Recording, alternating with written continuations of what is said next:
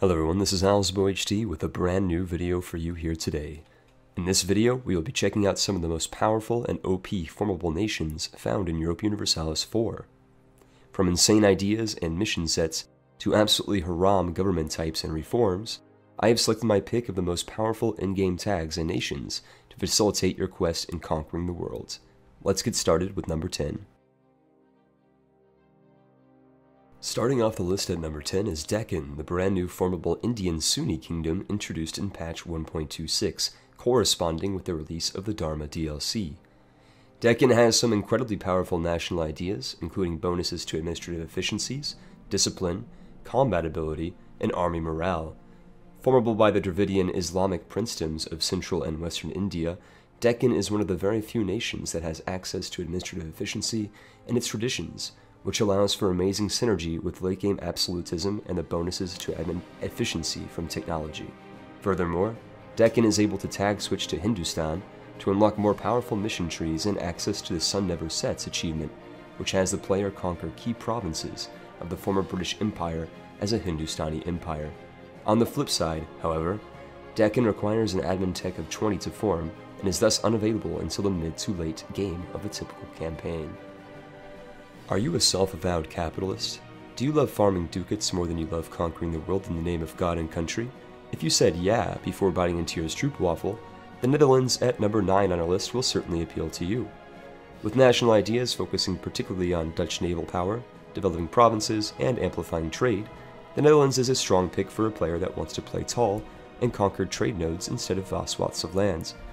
Furthermore, given that Netherlands is only formable by Dutch cultured nations, the Netherlands is situated in the best trade node in the game, the English Channel. With trade impossible to be steered downstream from the English Channel end node, any Netherlands player who conquers and develops the node will become the richest player once trade starts flowing in from the Spice Islands. On top of their incredible geographic location, the Netherlands also benefits from the highly flexible Dutch Republic government form that is a balance between monarchy and merchant republic. With benefits ranging from trade bonuses to military buffs, depending on if you elect Orangist or Statists to power, the Dutch Republic is a versatile government form that even allows you to royal marry and contest and maintain personal unions. Be aware, however, that the Netherlands government form does unfortunately lower the absolutism cap by 30, but this can be negated by court and country, golden ages, and government reforms. The people have spoken, and the parliament has elected the Polish Lithuanian Commonwealth to the number 8 place on our list of most powerful formable countries.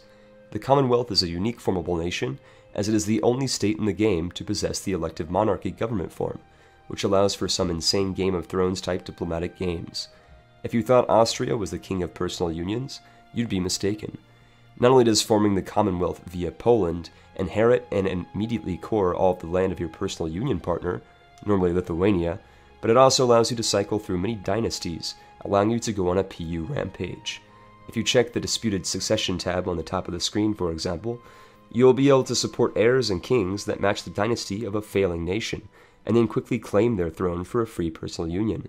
In combination with the abdicate throne mechanic, you can quickly support the heir needed for the PU, and then drop your king to cycle through dynasties and claim the throne of any target nation.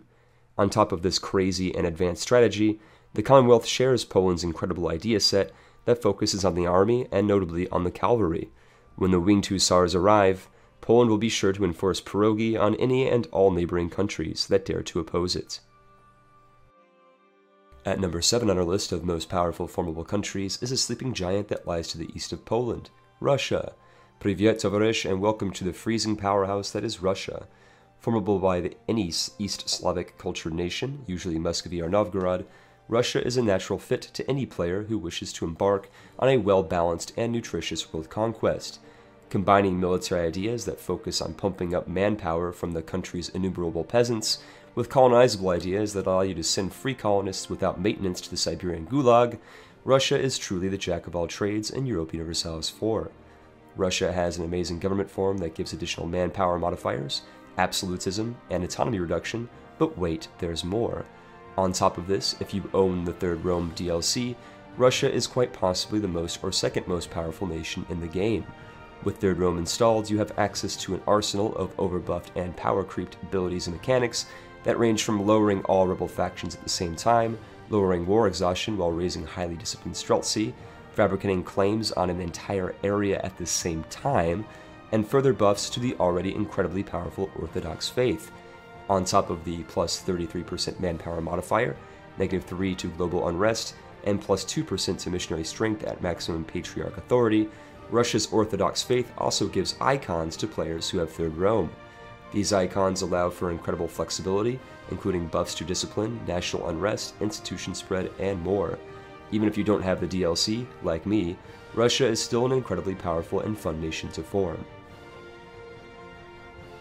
Coming in at number 6 on our list is Rum, the Turkish formable nation that claims to be Rome, and is certainly and unequivocally not the Ottomans.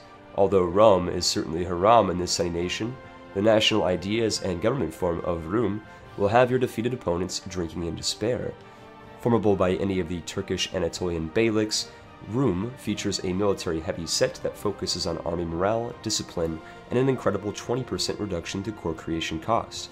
If you thought the developers were drunk on Turkish propaganda when they made this nation, just wait until you feast your eyes upon their Ottoman government form that gives them yearly legitimacy, increased absolutism, increased state capacity, and more. But wait, we still haven't covered the harem mechanic that is unique to the Ottoman government form available to Rum. If you're the ruler of Rum is ever above the age of 30 without an heir, the player is able to pick between three selectable candidates from within the ruler's harem and can view their stats before picking the best one. Rum is the best pick of nation for any player that feels too dirty to play the Ottomans, but still wants to spread the wombo combo of rum and kebab throughout Europe, Asia, and beyond. Make the Byzantines cry and Christendom hate you by becoming the definitive Sultan of Rum and conquer Constantinople, Rome, and Moscow for additional salt, seasoning, and the achievement of the same name. Next up on the list at number 5 is the Italian Stallion of Italy. If you are an advanced player that is able to negotiate and overpower the incredibly dense and highly developed Italian region without succumbing to coalitions spanning from Iberia to Asia, Italy is the formable nation for you. Sporting a versatile idea set that focuses primarily on trade and military power, Italy also wields one of the only plus 25% core creation reduction modifiers in the game. If going wide and heavy on the carbohydrates is your preferred playstyle, Italy is an excellent choice that has natural synergy with administrative ideas and absolutism. Before long, you too can spread the magic of pizza and tortellini alfredo for almost no cost at all, with provinces late game costing single digit core costs if Italy is played with optimal idea sets that capitalize on their national ideas. Although any Italian cultured nation can form Italy, true historically minded players can open with Savoy, form Piedmont Sardinia, and then conquer and form Italy and relive Garibaldi's fantasies. Truly skilled players can also use Italy's optimal expansion minded ideas to conquer the Mediterranean and form the Roman Empire, a formable nation that may or may not be. Number 4 on our list. Salve, fellow EU4 player. The Senate and people of Rome greet you. If you are somehow able to unite all the Mediterranean lands and portion of Britain, the Black Sea, and Asia Minor under your control, as any Christian nation, you will be able to form the majestic Roman Empire. Exchanging powerful discipline, diplomatic reputation, and production idea sets for a slight reduction in core creation cost, Rome has jaw droppingly powerful ideas to match the daunting task of forming them in the first place. Any player that forms Rome will obtain the Mare Nostrum achievement and have their primary culture switch to Roman, a culture that belongs to the esoteric Lost Cultures group. Rome has a particular significance for me, as I was able to achieve my first Iron Man World Conquest with them by starting as Theodoro and forming them through ridiculously lucky PU magic and relentless conquest. If you want to see my Theodoro to Roman Empire World Conquest time-lapse, I'll have the video link available at the title credits at the end of this video. Goose stepping their way into number 3 on our list is the Kingdom of Prussia. Formable by Brandenburg, the Teutonic Order, or any nation with Prussian, Saxon, or Pomeranian culture, Prussia is by far the most militarily powerful nation in the game.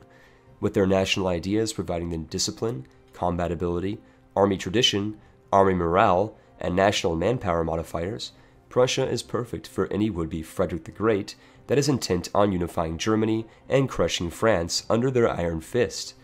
Their unique government form of Prussian monarchy gives them additional national unrest reductions, monthly war exhaustion reductions, and almost guaranteed ruler with six military skill, increases in maximum absolutism and loyalty to the nobility estates, As if that wasn't already overkill, Prussia also benefits from the unique mechanic of militarization that provides them scaling bonuses to discipline, manpower recovery speed, and army maintenance modifiers contingent on their size. Smaller, taller, and more compact Prussias are able to benefit from a whopping plus 10% to discipline, while larger and more spread out Prussias miss out on the majority of these benefits. A player that is intent on conquering the world can easily circumvent this intentional design mechanic by establishing powerful vassals, marches, and or client states that they can feed territory to while maintaining Prussian supremacy for the insane military benefits of 100% militarization.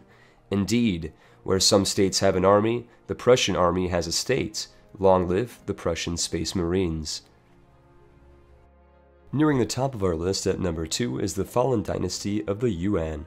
Any Altaic or Mongolian cultured tribe that is able to conquer China and steal the Mandate of Heaven from the Ming Dynasty is able to form this incredibly rare and monstrously powerful formable nation. Possessing arguably the best national idea set in the game, Yuan ideas focus primarily on buffing army morale, discipline, shock damage, and cavalry power, but also include a rare plus 5% to administrative efficiency, along with a negative 25% reduction to core creation costs and a fantastic negative 10% technology cost modifier. In many ways, a double edged sword, Yuan also requires the unique mandate of Heaven mechanic that forces the Yuan player into the Celestial Empire government form. This is excellent because it allows you to benefit from high mandate modifiers, which include national unrest reduction and stability cost reduction, and also allows you to pass reforms that further reduce coring costs, give you an additional diplomat, and much more.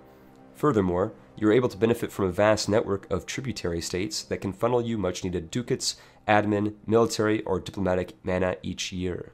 On the flip side of this, however, is that if you border a non tributary state that is massive or highly developed, your mandate will tank, and you will be subjected to crippling penalties to your army and to your nation at zero mandate.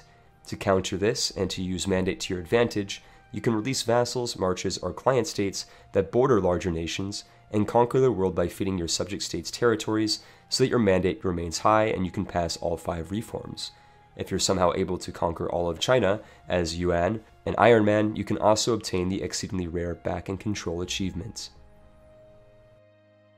Coming in at the top of our list of most powerful formable nations to play in Europa Universalis 4 is the Mughal Empire at number 1. Alongside many of the sweeping balance and gameplay changes introduced with the Dharma DLC are massive buffs that have catapulted the Mughals into the undisputed top tier nation for conquering the world. Boasting insane national ideas that include 25% core creation cost reductions, discipline, national unrest reductions, and technology cost reductions, the Mughals are natural conquerors. Their unique mission tree provides incredibly powerful cores and claims on the Indian subcontinent, and their one of a kind government form allows you to accept any culture in the game once you conquer all of that culture's provinces. As if that wasn't already broken enough, once you conquer a culture group, you also obtain an incredibly powerful buff that lasts the duration of your entire campaign. These buffs range from extra diplomats and merchants to further reduced coring costs trade efficiencies, and pretty much every other beneficial effect that's available in the game. In this regard, the Mughals have not only the best ideas, but can also obtain every buff that you'd ever want, and consequently, they snowball faster than other states in the top tier of most powerful nations. If you want to take the assimilation even further, truly mad lads can convert from Sunni to Confucian to harmonize all religions in the game, allowing the player to accept all cultures and religions, and virtually eliminating all rebel problems you'd ever have. If you can conquer the entire Indian subcontinent starting as a Timurid vassal, you can also obtain an achievement for the Mughals.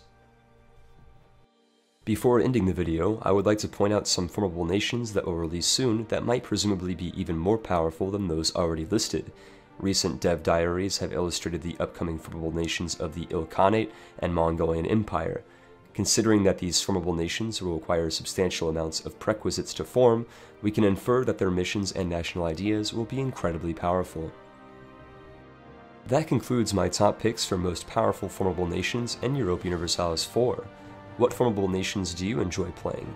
Do you enjoy playing the most powerful formable nations? Do you agree with my list? Let me know in the comment box below. As always, thank you for watching, and I will see you on the next video.